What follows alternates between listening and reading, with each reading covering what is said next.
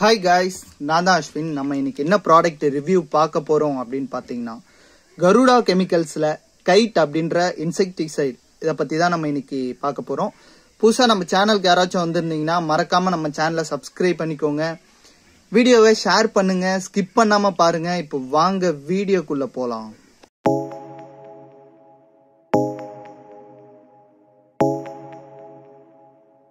on the beat.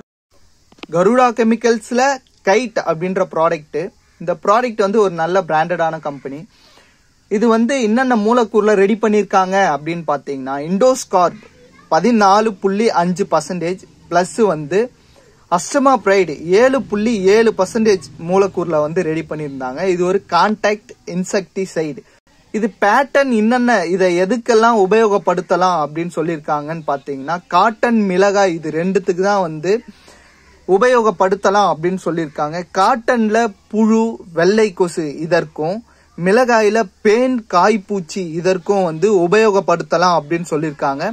இதுக்கு எவ்வளோ மருந்து உபயோகப்படுத்தலாம் அப்படின்னு பார்த்தீங்கன்னா ஒரு எம்எல் ஒரு லிட்டர் வந்து நம்ம உபயோகப்படுத்தலாம் அப்படின்னு சொல்லியிருக்காங்க. இதை தவிர்த்து நம்ம வேற எதற்கு உபயோகப்படுத்தலாம் அப்படின்னு பார்த்தீங்கன்னா கத்திரிக்காய் வெண்டைக்காய் நெல் பயிர் இந்த மூணுத்துக்குமே வந்து நம்ம உபயோகப்படுத்தலாம் அப்படின்னு சொல்லியிருக்காங்க.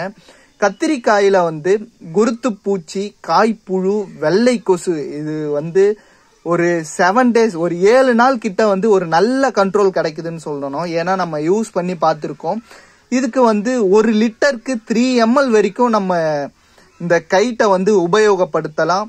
அதுக்கப்புறம் வெண்டையில் பார்த்தீங்கன்னா குருத்து பூச்சி காய்ப்புழு வெள்ளை கொசு இது மூணுமே வந்து வெண்டையில் கேட்குது இதற்கு ஒரு எம்எல் பர் ஒன் லிட்டர் வரைக்கும் நம்ம வந்து உபயோகப்படுத்தலாம். அதுக்கு அடுத்தது பார்த்தீங்கன்னா நெல் பயிர். நெல் பயிரில் வந்து இலை சுருட்டு புழு கொசு இதற்கு வந்து இந்த நெல் பயிரில் கேட்குது இந்த நெல் பயிரில் ஒரு எம்எல் வந்து கைட்டு பிளஸ் வந்து ஆல்ஃபா மெத்திரின் ஒன்னுல இருந்து டூ எம்எல் வரைக்கும் நம்ம மிக்ஸ் பண்ணி அடிச்சோம்னா இந்த இலை சுருட்டு புழு கொசு இதற்கு வந்து ஒரு நல்ல ரிசல்ட் வந்து நம்ம நெல் பயிர்ல கிடைக்கும் வந்து யூஸ் பண்ணி பாருங்க உபயோகப்படுத்திட்டு இது எப்படி இருந்துச்சு அப்படின்னு சொல்லிட்டு மறக்காம கமெண்ட்ல சொல்லுங்க.